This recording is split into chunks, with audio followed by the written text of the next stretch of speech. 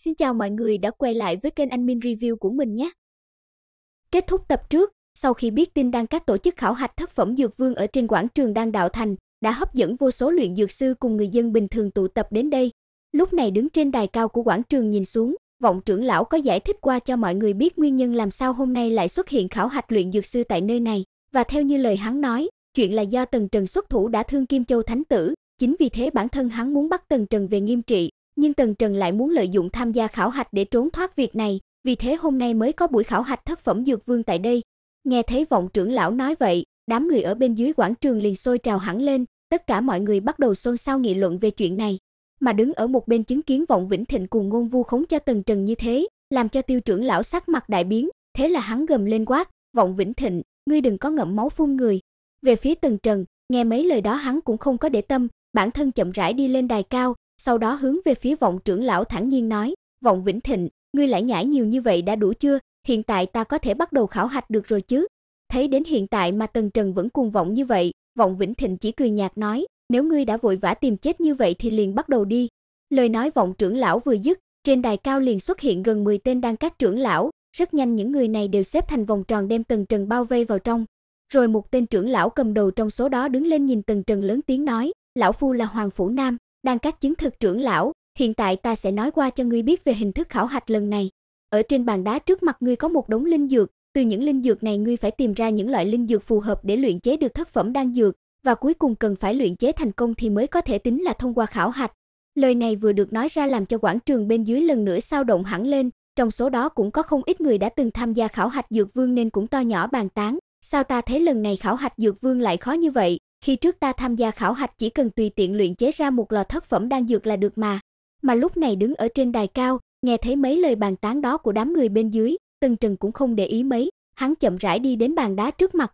nhìn đống linh dược ở trên đó, Tần Trần nở một nụ cười rồi nói, muốn ta luyện chế thanh hồng đan sao? Thấy Tần Trần chỉ đảo mắt nhìn qua đống linh dược đã có thể biết được đan dược luyện chế là gì, làm cho Hoàng Phủ Nam và đám trưởng lão khiếp sợ không thôi, nếu không phải bọn họ ra đề, thì bọn họ còn cho rằng là Tần Trần biết trước đáp án đây. Mặc dù khiếp sợ là thế, nhưng mà ngay sau đó Tiêu trưởng lão liền quay sang nhìn Hoàng phủ Nam, giọng điệu có chút bất mãn hỏi, "Hoàng phủ trưởng lão, Thanh Hồng đang là một trong những loại thất phẩm đang dược sơ kỳ khó luyện chế nhất, cho dù người mới tấn cấp thất phẩm dược vương cũng chưa chắc đã có thể luyện chế được, thế mà hôm nay ngươi lại bố trí đề mục khảo hạch như thế này, có phải là quá khó khăn rồi không?" Nghe Tiêu trưởng lão hỏi vậy, Hoàng phủ Nam thản nhiên nói, "Tiểu tử này đã có lòng tin công khai luyện chế như vậy, thì chúng ta không thể đưa ra đan dược đơn giản cho hắn luyện chế được, nếu không sẽ có ảnh hưởng đến danh dự của đan cát. Với lại thanh hồng đan này độ khó tuy lớn, nhưng nó cũng bao gồm tất cả vấn đề mà vương phẩm đan dược sơ kỳ gặp phải, nếu như tiểu tử này có thể luyện chế thành công, thì chứng tỏ hắn đã nắm giữ tuyệt đại đa số thủ pháp luyện chế vương phẩm đan dược sơ kỳ,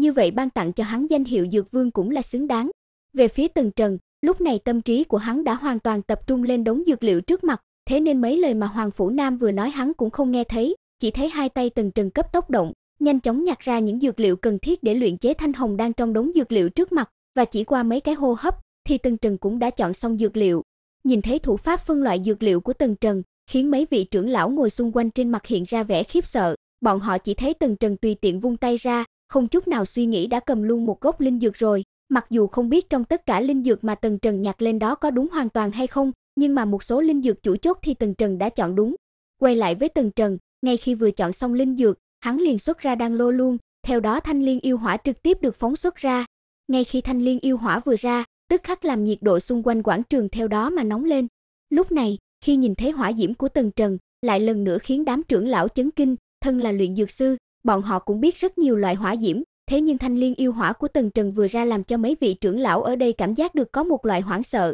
không những thế bọn họ cũng không nhận biết được hỏa diễm của Tần Trần là loại nào nữa, trong khi mấy vị trưởng lão này đang cau mày suy tư về hỏa diễm của Tần Trần, thì lúc này ở chính giữa lôi đài, chỉ thấy Tần Trần vung tay lên, theo đó thanh liên yêu hỏa liền bay lên, hóa thành chín đóa hỏa diễm nhỏ, rồi tạo thành một cái bảo tháp, đem đan lô bao phủ vào trong, bắt đầu tiến hành làm nóng lô đỉnh. Một màn đột ngột phát sinh như này làm cho đám trưởng lão trợn mắt há mồm lên nhìn, trong đó có một tên trưởng lão do quá chấn kinh nên thất thanh nói, đây là cửu diễm bảo tháp pháp, khó trách tiểu tử này lại tự tin như thế, chỉ thuận tay liền tạo ra bảo tháp hỏa diễm, thực sự là có tài. Thế nhưng lời vị trưởng lão này vừa dứt, thì Hoàng phủ Nam trưởng lão đột nhiên lên tiếng, thanh âm cả kinh nói, đây không phải là cửu diễm bảo tháp pháp, mà là vạn diễm phân lưu thuật. Nghe được lời này, cả đám trưởng lão liền quay sang nhìn Hoàng Phủ Nam nghi ngờ hỏi, Hoàng Phủ trưởng lão, vạn diễm phân lưu thuật là gì? Đây rõ ràng là cửu diễm bảo tháp pháp mà. Trấn tĩnh lại tinh thần, Hoàng Phủ trưởng lão trầm giọng nói, vạn diễm phân lưu thuật là một loại thượng cổ khống hỏa chi thuật, ta tuyệt đối không nhìn lầm đâu. Nếu không tin các ngươi có thể quan sát kỹ mỗi một đóa hỏa diễm, sẽ thấy trong mỗi đóa hỏa diễm đó lại có chín đóa hỏa diễm nhỏ bên trong. Nghe Hoàng phủ trưởng lão nói vậy, cả đám trưởng lão liền tỉ mỉ quan sát, và kết quả đúng như lời mà Hoàng phủ trưởng lão đã nói, bên trong mỗi đóa hỏa diễm lại có chín đóa hỏa diễm nhỏ ở trong. Điều này chứng tỏ hiện tại Tần Trần không phải là đang khống chế chín đóa hỏa diễm như bề ngoài, mà thực sự là khống chế tổng cộng 81 đóa hỏa diễm. Vừa nghĩ đến đây, khiến đám trưởng lão này không tự chủ được mà hít vào một ngụm khí lạnh, vì để làm được điều này, thì tinh thần lực của Tần Trần phải kinh khủng đến mức nào, nếu như đổi lại là bọn họ, cũng chưa chắc đã có thể làm được như Tần Trần. Trong khi đám trưởng lão còn đang cảm khái về trình độ khống hỏa của Tần Trần, thì lúc này Tần Trần đã hoàn tất công đoạn làm nóng lô đỉnh. Tiếp theo đó, hai tay Tần Trần cấp tốc đem linh dược ném vào trong lô đỉnh, tốc độ cực nhanh, làm cho mọi người hoa hết cả mắt. Chỉ một lát sau, xung quanh lô đỉnh đã xuất hiện nhàn nhạt dược lực bình chướng, điều này chứng tỏ dược lực đã được chiết xuất đến mức tận cùng. Như thế là Tần Trần đã hoàn thành xong quá trình triết xuất dược lực và tiếp theo sẽ đến giai đoạn trọng yếu nhất, đó chính là luyện đan. Chỉ thấy oanh một tiếng, thanh liên yêu hỏa đột nhiên tăng vọt lên, theo đó nhiệt lượng phát ra cũng đề thăng hơn 10 lần khi trước, rồi Tần Trần liền điều khiển thanh liên yêu hỏa bao quanh lò đan. Thấy một màn này khiến tất cả mọi người trên quảng trường đều trợn mắt há mồm mà nhìn, vì theo như bọn họ biết, nếu đem hỏa diễm thúc dục mạnh như vậy, chắc chắn dược lực bên trong sẽ bị hỏng, thậm chí còn gây ra nổ lò. Mà đám trưởng lão ngồi xung quanh Tần Trần cũng có suy nghĩ như vậy, thế nên ngay khi vừa nhìn thấy Tần Trần phóng thích nhiệt lượng hỏa diễm đến cực hạn như thế, trong mắt đám người này liền toát ra vẻ thất vọng, mặc dù thế nhưng cũng không có ai lên tiếng nói gì. Và thời gian cứ thế trôi, khi năm canh giờ đã qua, không thấy lò đan của Tần Trần có phản ứng gì, làm đám người xung quanh quảng trường không khỏi xì xào bàn tán, sao thời gian trôi qua lâu thế rồi mà vẫn chưa có nổ lò vậy. Ở bên trên đài cao, nghe thấy mấy lời bàn tán này, thì một vị trưởng lão liền quay sang nhìn Hoàng phủ Nam hỏi, "Hoàng phủ trưởng lão, làm sao bây giờ?" Hoàng phủ Nam nghe vậy thì quay sang nhìn tên trưởng lão kia tức giận quát, "Cái gì mà làm sao bây giờ? Bình thường luyện chế thất phẩm đan dược cũng phải mất một ngày một đêm, thế mà hiện tại mới qua có nửa ngày, mà ngươi lại hỏi ta phải làm sao?" Nghe Hoàng phủ trưởng lão nói vậy, tên trưởng lão kia liền ngậm mồm ngay, mà đám người bên dưới cũng không nói gì nữa. Hiện tại tất cả mọi người ở đây đều cho rằng Tần Trần chắc chắn đã thất bại, bởi vì lâu như vậy rồi mà trong lò đan vẫn không có một chút gì. Nếu không phải muốn xem kết quả cuối cùng, thì đám người này đã đứng lên về hết cả rồi. Mặc dù còn ngồi lại, thế nhưng cũng không còn mấy người xem Tần Trần luyện đan nữa, tất cả đều ngáp ngắn ngáp dài, tranh thủ chút thời gian chợp mắt. Cứ như thế hai canh giờ nữa lại trôi qua, lúc này lò đan cũng phát sinh biến hóa, chỉ thấy thiên địa chân khí điên cuồng tiến nhập vào trong lò đan, giống như là cá voi đang hút nước vậy. Mà cảnh tượng này rất nhanh hấp dẫn được đám người ở xung quanh quảng trường, khiến nhiều người đang say sưa ngủ cũng phải thức giấc, trong ánh mắt tràn đầy kinh ngạc nhìn về phía Tần Trần lẩm bẩm nói, tiểu tử này, thật là đang luyện chế thất phẩm đan dược sao? Đến đây mình xin kết thúc nội dung của tập này nhé. Xin chào và hẹn gặp lại mọi người trong tập tiếp theo.